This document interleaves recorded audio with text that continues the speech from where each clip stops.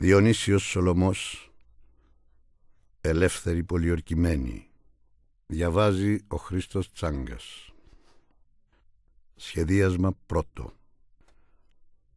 Τότε σε ταραχτήκανε τα σωθικά μου και έλεγα πως ήρθε ώρα να ξεψυχήσω. Και βρέθηκα σε σκοτεινό τόπο και βροντερό που εσκυρτούσε σαν κλονή στάρι στο μήλο που αλέθιο γλίγορα σαν το χόχλο στο νερό που αναβράζει. Ε τότε σε κατάλαβα πως εκείνο ήτανε το Μεσολόγγι. Αλλά δεν έβλεπα μήτε το κάστρο, μήτε το στρατόπεδο, μήτε τη λίμνη, μήτε τη θάλασσα, μήτε τη γη που επάτουνα, μήτε τον ουρανό εκατασκέπαζε όλα τα πάντα μαυρίλα και πίσα, γιωμάτι λάμψη, βροντί και αστροπελέκι. Και ύψωσα τα χέρια μου και τα μάτια μου να κάνω δέηση. Και ειδού, μες στην καπνίλα, μια μεγάλη γυναίκα με φόρεμα μαύρο, σαν του λαγού το αίμα, όπου η σπίθα έγγιζε και εσβενότουνε. Και με φωνή που μου εφαίνονταν πως νικάει την ταραχή του πολέμου, άρχισε.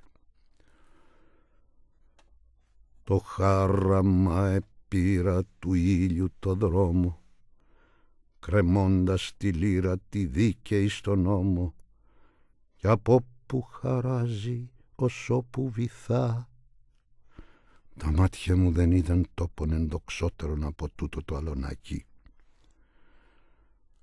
Παράμερα στέκει ο άντρας και κλαίει αργά το του φέκι σηκώνει και λέει «Σε τούτο το χέρι τι κάνεις εκεί» Παράμερα στέκει ο άντρας και κλαίει. Αργά το του φέκι σηκώνει και λέει «Σε τούτο το χέρι τι κάνεις εσύ» Ο εχθρός μου το ξέρει πως μου είσαι βαρύ Της μάνας ο λάβρα τα τέκνα τριγύρου φθαρμένα και μαύρα σαν ίσκιους ονείρου. Λαλεί το πουλάκι στου πόνου τη γη και βρίσκει σπυράκι και μάνα φθονή.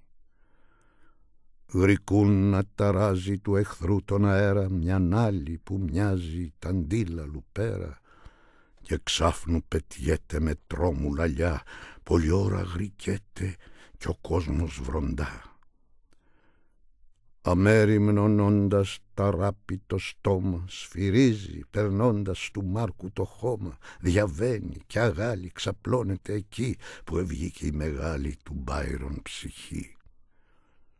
Προβαίνει και κράζει τα έθνη σκιασμένα κι ο πίνα και φρική δε σκούζει σκυλή και η μέρα προβαίνει τα νέφια συντρίβει να η νύχτα που βγαίνει κι αστέρι δεν κρύβει.